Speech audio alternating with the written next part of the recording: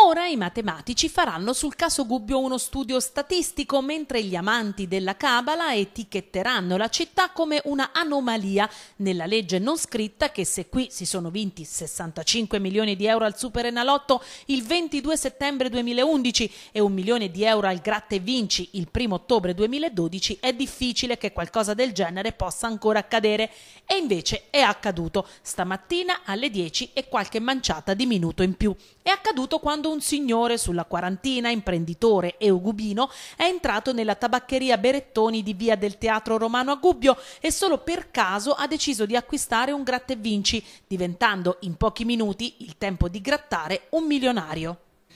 Verso le 10.30 è entrato un signore, un caro amico, e ha chiesto una marca da volo per il passaporto e un gratta e vinci, una cosa del tutto casuale perché non li prende mai. Mio figlio ha scelto quello giusto. Ecco, che gratta vinci è? Che serie sono? Dunque sono dei gratta vinci mega miliardario e vengono 10 euro l'uno. È venuto, ha trovato quello fortunato da un milione d'euro. Che cosa ha detto quando l'ha grattato? E lì per lì ha detto ho vinto 1000 euro. Poi ci ha guardato bene, mi ha preso sotto braccio e c'era la gente, non è riuscito a stare in silenzio, proprio ha esternato la gioia e la felicità proprio. 35, 15, 21, 18, 32 33 i numeri vincenti della sua scheda, ma se avesse trovato il 32 avrebbe vinto il premio massimo, un milione di euro e il 32 è uscito così per caso inaspettatamente in questo biglietto che era il diciottesimo di una mazzetta da 30 scelto per lui da Giordano, il figlio del titolare della tabaccheria.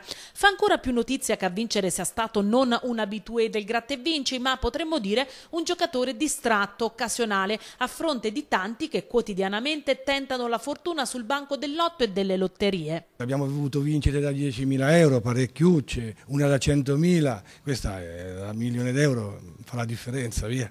C'è tanta gente che gioca cifre così importanti, 10 euro per acquistare un biglietto.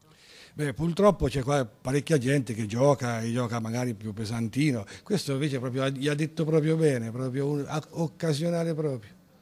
Senta, ma